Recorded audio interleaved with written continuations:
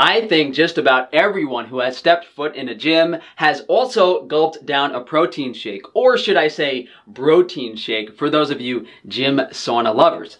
Out of my eight years bodybuilding, I spent the first few sucking down Optimum Nutrition, Gold Standard Whey, Nature's Best Isopure, Syntha 6, to name my favorites, but even as a conventional wisdom bodybuilder, I realized that whole food protein was better, as well as cheaper. Uh, so I opted for chicken and dropped all of the supplements a few years into bodybuilding.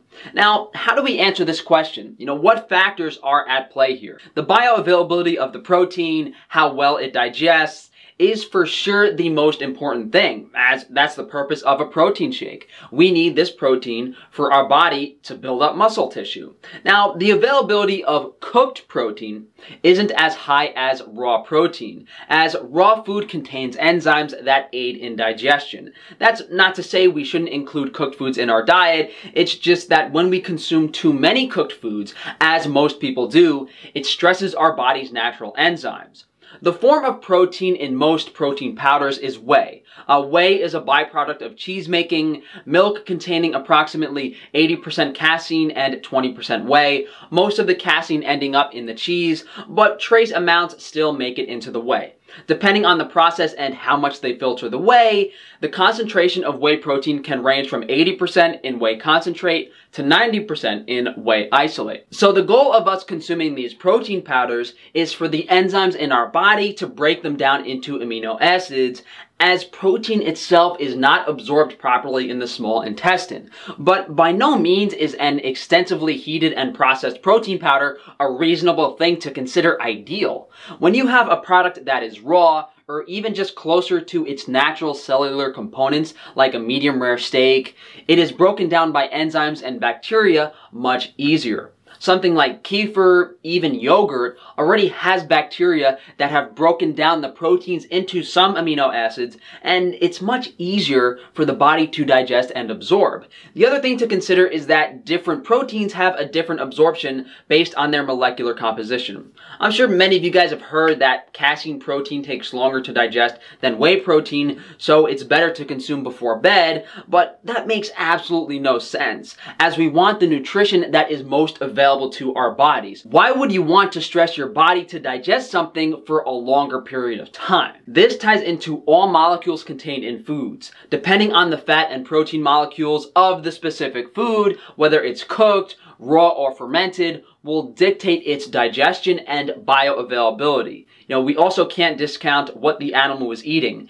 Every single nutrient, amino acid, fatty acid contained in a food alters its digestion. And as complicated as that is, the answer is pretty simple. See what foods you digest better and feel good eating. Whether it's boiled cod or salmon sashimi, figure it out. So we know from a pure protein availability standpoint that there are better options. And not only for just protein. These quality animal foods like raw milk, shellfish, seafood, grass-fed beef, pasture-raised chicken, also have the nutrients we need to thrive. Vitamins, minerals, elements, and fatty acids that a supplement will never be able to replicate. But what about the negatives? You, know, you could consider the extensively heated and processed protein a negative already, as we said earlier, it's stressing the body's enzymes and digestion. Uh, we also have to assume that the milk used to make this whey protein is from A1 cattle, uh, which can be an allergen to some people. You know, different types of animals produce different types of casein,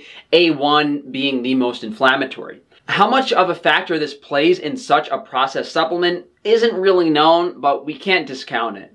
But there are other ingredients in here. Natural and artificial flavor, lecithin, salt, acesulfame potassium, sucralose, yellow 5, and lactase. Natural and artificial flavors, per their name, can be made from natural things such as fruits and vegetables or artificial things such as petroleum, various chemicals. They don't list what they are using, but we can hypothesize that substances are toxins causing oxidative stress, possibly inflammation. Lecithin is usually made from soy, it's an emulsifier as well as a flavor protector. It's not only full of chemicals from the extensive production process, it also contains pesticides from the growing of the soybeans. To summarize, lecithin is a toxin that is added in small amounts as a food preservative. Acesulfame potassium is an artificial sweetener that has shown adverse effects in rat studies, including consideration as a carcinogen. Sucralose, another sweetener, is derived from sugar, not absorbed or recognized from the body, potentially breaks down into carcinogenic compounds at high heat. It has been shown to shrink the thymus glands, resulting in poor immune response and enlarged liver and kidneys. Yellow 5 is a synthetic dye that has been shown to cause DNA damage. And lactase is an enzyme to digest lactose, likely added because the whey might still contain traces of lactose. Of course, these ingredients vary depending on the protein powder, the specific flavor. You know, we took a look at banana cream from Optimum Nutrition, and even if you switch to double rich chocolate from the same company, the flavorings and sweeteners used are different. The point is to analyze and break down every single product. What are the positives? What are the negatives? And unfortunately, if we're not looking at wild quality foods, it's mostly negatives. So when you consume protein powder or really any food that contains processed ingredients, you're consuming hundreds, possibly thousands of different ingredients. Uh, we should really be calling them chemicals, considering all of the materials and processes required for each of these individual items. Now, is protein powder the worst thing in the world? It's pretty simple. You're either eating healthy food or you're not. And if you're drinking a protein shake, if you're cheating on your diet, if you're doing something that's hypothetically negative in any way, you know, what are you using to justify it? You know, what's the reason? Do you enjoy it? Is it all you had access to? Is it all you can afford? And each of those things can be addressed on an individual basis. So thank you guys for joining me. If you could please like the video, subscribe, hit that bell icon, and above all guys, please share the video if you can. If you guys do want to support me further, check out everything down in the description from Frankie's Free Range Meat for high quality animal foods, Frankie's Naturals for minimal ingredient, minimally processed hygiene and cosmetic products. Uh, you can also go to frank-tufano.com for fitness and nutrition consulting. And we recently launched our book just yesterday, The Ancestral Indigenous Diet. So check that out on Amazon as well. Thanks again for joining me, guys and enjoy the rest of your day.